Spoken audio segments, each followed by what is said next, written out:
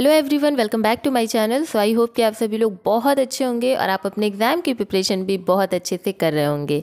तो सबसे पहले तो congratulations to all of you मेरे को भी कॉन्ग्रेचुलेशन क्योंकि हम लोगों के चैनल पे वन मिलियन व्यू हो गए हैं and this was unacceptable for me unbelievable for me क्योंकि ये बिलीव ही नहीं किया था कि one million view means ten lakh view मेरे ओवरऑल चैनल पर आ चुका है। आई नो कि बहुत लोग के एक ही वीडियो पे चला जाता है but still it is an educational channel जिसपे मतलब इतनी छोटी छोटी खुशी मनानी बनती है क्योंकि बच्चे ज़्यादा सब्सक्राइब एजुकेशनल को नहीं करते हैं आई नो इट बट ठीक है। तो इसके लिए आप भी खुश हो जाइए एंड हम भी खुश हो जाते हैं, ठीक है?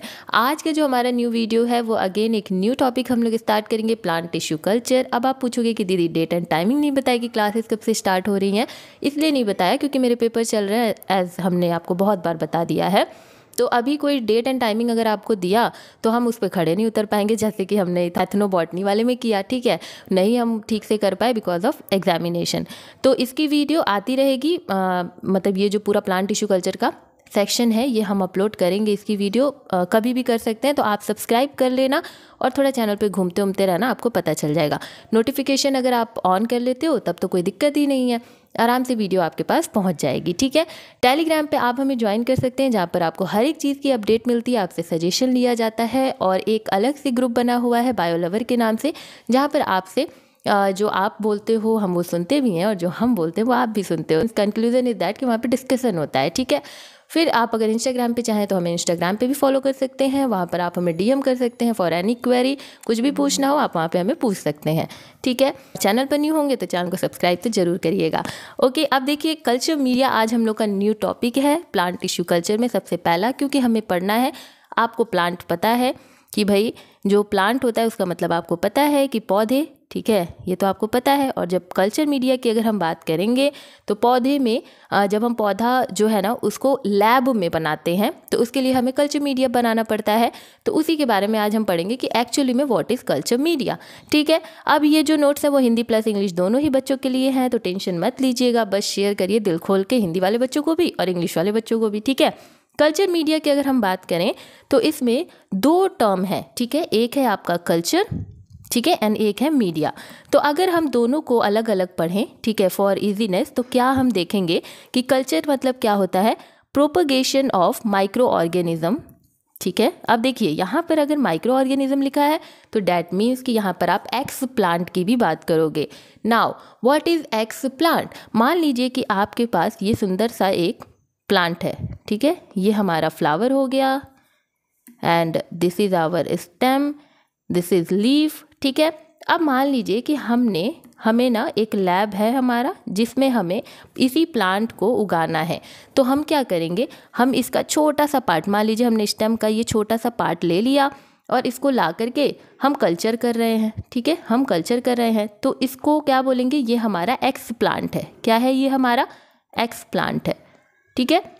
तो अगर आप यहाँ पर माइक्रो ऑर्गेनिज्म लिखा हुआ देख रहे हो तो ये आपके जियोलॉजी के परसेप्टिव से है और अगर आप इसी के जगह पर क्या लगा दोगे एक्स प्लांट लिख दोगे, ठीक है? मान लीजिए इस माइक्रो ऑर्गेनिज्म की जगह पर हम यहाँ पर एक्स प्लांट लिख दें तो ये आपका हो गया बॉटनी का डेफिनेशन ठीक है? तो ये चीज़ आप थोड़ा ध्यान रखना। देखिए जब हम प्रोपगेशन करते हैं माइक्रो ऑर्गेनिज्म या फिर एक्स प्लांट का वेरियस मीडिया का यूज़ करके तो हम उसे कल्चर बोलते हैं। मतलब ये कि विभिन्न मीडिया मीडिया क्या है? मीडिया जैसे एक मीडियम होता है, जैसे air is a medium water is a medium ठीक है? तो हम कल्चर मीडिया में जनरली वाटर का यूज़ करेंगे या फिर डिफरेंट टाइप के मीडियम का यूज़ करेंगे, जिससे हमारे जो प्लांट हैं, या फिर अगर हमें कोई माइक्रो ऑर्गेनिज्म जैसे बैक्टीरिया की ग्रोथ करानी है तो उनकी ग्रोथ अच्छे से हो जाए। मतलब ये कि हम उसे एक मीन्स क्या कहते हैं बेस देने की कोशिश करेंगे। ठीक है तो कल्चर में हमारा मतलब सिंपल सा ये है कि विभिन्न मीडिया का उपयोग करके सूक्ष्म जियो, अब जियो में आप बैक्टीरिया भी देख सकते हो, कुछ भी आप यहाँ पर देख सकते हो प्लस अगर हम प्लांट की बात करेंगे तो एक्स प्लांट ठीक है?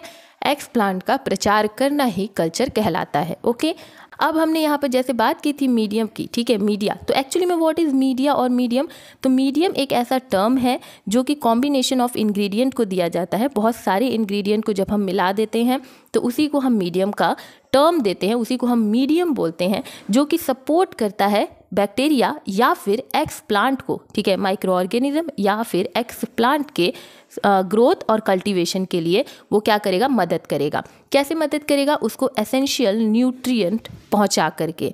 समझ में आया? मान लीजिए कि ये है आपका एक, ये आपका मान लीजिए एक ऐसे डिस्क है, ठीक है? ये हो गया आपका प्लेट या डिस्क जो भी आप बोल सकते हो, बोलो, ठीक है? ये। अब मान लीजिए कि आपको इसमें एक प्लांट को कल्चर करना है तो आप गए प्लांट का एक्स प्लांट लेके आए, छोटा सा पार्ट तोड़ करके लेके आए, ठीक है? फिर यहाँ पर आपको बहुत सारे ऐसे लिक्विड ठीक है? ये आपको ये लिक्विड दिखाई देगा, ठीक है? ये आपने बनाया उसका मीडियम अब इस लिक्विड में ना बहुत सारे सब्सटेंस होंगे। जब हम इसके बाद नेक्स्ट वीडियो पढ़ेंगे nutritional requirement of culture media तो फिर हम इस मीडियम के बारे में पढ़ेंगे। ये हो गया हमारा मीडियम ठीक है? This one is our medium अब हम इसमें क्या करेंगे? उस छोटे से पार्ट को, मान लीजिए आपने स्टम का छोटा सा पार्ट लेके आया है तो उसको यहाँ पर क्या करेंगे? कल्चर करेंगे। जब आप कल्चर करोगे तो देखोगे कि छोटे छोटे यहाँ से फिर ये ऐसे ग्रोथ करते जाएँगे। ठीक है? ये फिर छोटे, ये छोटे से बड़े हो जाएँगे, और फिर आप क्या करोगे? इनको यहाँ से उठा करके कट करके एक तरीके से, ठीक है? इसको ले जाके फिर सॉयल में लगा दोगे तो न्यू प्लांट निकल जाएगा। This is all about the culture media ठीक है? कल्चर मीडिया क्या है? एक प्रोसेस है। कल्चर मीडियम क्या है? उस प्रोसेस का एक पार्ट है जो कि, जो आपका एक्स प्लांट है और माइक्रो ऑर्गेनिज्म है, उसकी न्यूट्रिशनल रिक्वायरमेंट को वो क्या कर रहा है, पूरा कर रहा है, जिससे कि जो भी हम कल्चर कर रहे हैं माइक्रो ऑर्गेनिज्म की कर रहे हैं या फिर हम प्लांट की कर रहे हैं तो उसका क्या हो जाए ग्रोथ अच्छा हो, ठीक है, और कल्टिवेशन अच्छा हो। यही हमारा कल्चर मीडिया होता है। अगर हम हिंदी की बात करें तो आवश्यक पोषण तत्व प्रदान करके सूक्ष्मीवाद के विकास और खेती का समर्थन करने वाले अवयवों का संयोजन कॉम्बिनेशन ऑफ़ इंग्रेडिएंट के लिए माध्यम अवधि हम इसको मतलब कहते हैं। ठीक है? This is all about the culture media देखिए culture media is use to in order to identify the causative agent from a infected material culture media का उपयोग संक्रमित सामग्री से कारक एजेंट की पहचान करने के लिए किया जाता है। ठीक है, ये आपका यूज़ पता चल गया। कल्चर मीडिया एक जेल टाइप का होता है, लिक्विड जो है ना। जैसे आपने एलोवेरा देखा है, जब आप एलोवेरा काटोगे तो वो थोड़ा सा लिक्विड ही होता है, थोड़ा सा जेली टाइप में होता है। ऐसे ही आप कल्चर मीडिया को समझ सकते हो। ठीक है तो एक लिक्विड डेट कंटेन न्यूट्रिय जिसमें भरपूर मात्रा में न्यूट्रिय प्रेजेंट होता है, जो कि किसी भी माइक्रो ऑर्गेनिज्म या फिर एक्स प्लांट को ग्रोथ करने में हेल्प करता है। ठीक है? कल्चर मीडिया तरल का एक जल है जिसमें पोषक तत्व होते हैं और इसका उपयोग बैक्टीरिया या सूक्ष्म जीवों को विकसित करने के लिए किया जाता है। ठीक है?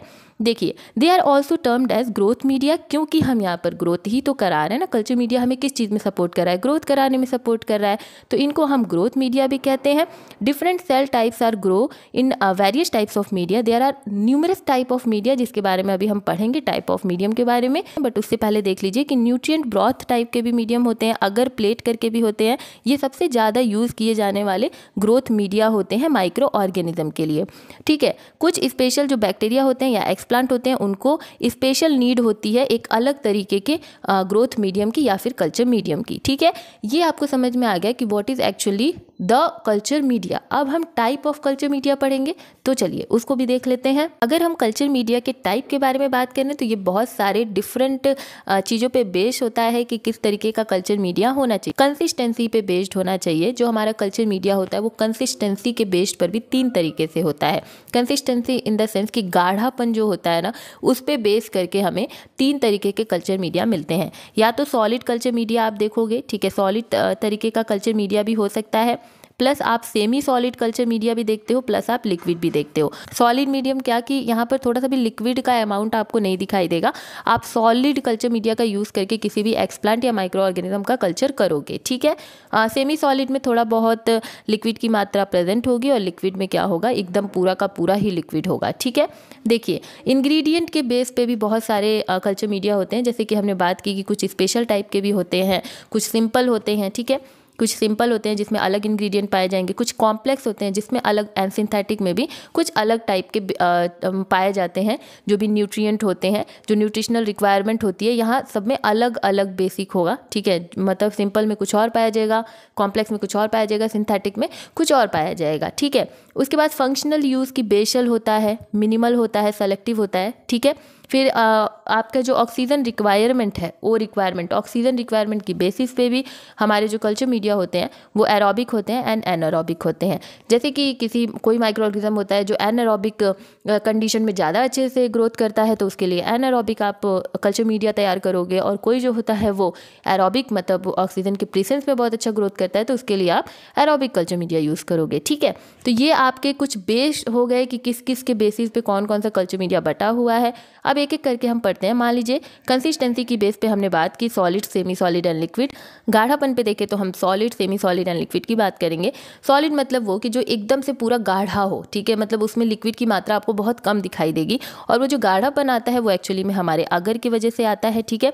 तो यहाँ पर अगर हम अगर की बात करेंगे तो सॉलिड का जो कल्चर मीडिया होता है, जो सॉलिड कल्चर मीडिया होता है, इसमें टू परसेंट अगर होता है, ठीक है? दो परसेंट होता है अगर जल आपने पढ़ा होगा। अगर पढ़ा है ना, अगर अगर आपने पढ़ा होगा तो अगर अगर जो है वो जब न्यूट्रिशनल रिक्वायरमेंट पढ़ाएँगे तो और अच्छे से आपको बता देंगे। तो जो अगर अगर है वो टू परसेंट यहाँ पर पाया जाता है सॉलिड कल्चर मीडिया में ये यूज़फुल क्यों है? ये ये ज़्यादातर यूज़फुल होता है कॉलोनीज़ जैसे बैक्टीरिया की कॉलोनी हो गई तो उसकी मॉर्फोलॉजी पढ़ने के लिए बैक्टीरिया के पिगमेंटेशन या फिर डिफरेंट कुछ भी आ, किसी भी तरह के पिगमेंटेशन है उनके लिए और हीमोलिसिस के लिए। ठीक है सेमी सॉलिड की अगर हम बात करें तो भाई अच्छा यहाँ पर कॉलोनीज़ मॉर्फोलॉजी दी हुई है तो मतलब ये है कि अगर आपने सॉलिड मीडिया में, ठीक है सॉलिड कल्चर मीडिया आपने प्रिपेयर किया और आप, आपने एक बैक्टीरिया डाल दिया, ठीक है तो आप देखोगे कि उसमें बहुत सारे बैक्टीरिया अपनी कॉलोनीज़ बना लेंगे। उनका कल्चर स्टार्ट हो जाएगा और वो बहुत सारी कॉलोनीज़ बना लेंगे। तो उनकी मॉर्फोलॉजी पढ़ने के लिए हम क्या करते हैं? कल्चर मीडिया का यूज़ करते हैं, उनका कल्चर करने के लिए। वहीं अगर हम सेमी सॉलिड की बात करें तो इनको सॉफ्ट सॉलिड भी बोलते हैं और इसमें ज़ीरो पॉइंट फाइव परसेंट ठीक है? थोड़ा सा गाढ़ापन होगा, बहुत गाढ़ा नहीं होगा, लेकिन थोड़ा सा होगा। तो सॉलिड में हमने टू परसेंट देखा सेमी सॉलिड में हम ज़ीरो पॉइंट फाइव परसेंट अगर का यूज़ करते हैं। और ये डिमॉन्स्ट्रेट करने के लिए बैक्टीरियल की मोटिलिटी ठीक है, कि बैक्टीरिया कितना तेज़ भागता है, इस चीज़ के लिए हम सेमी सॉलिड का मतलब वो कल्चर करा सकते हैं बैक्टीरिया का और फिर हम देख सकते हैं कि कौन कितना तेज़ भाग रहा है मतलब मोटिलिटी ठीक है? उसके बाद separating motile strain from non motile strain ये चीज़ हम uh, देखते हैं। उसके बाद अगर हम लिक्विड कल्चर मीडिया की बात करें तो यहाँ पर आपका कोई भी अगर नहीं पाया जाएगा।